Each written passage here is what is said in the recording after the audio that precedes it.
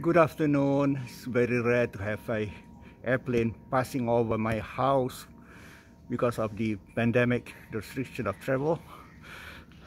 I'm running to get my camera. Where is it now?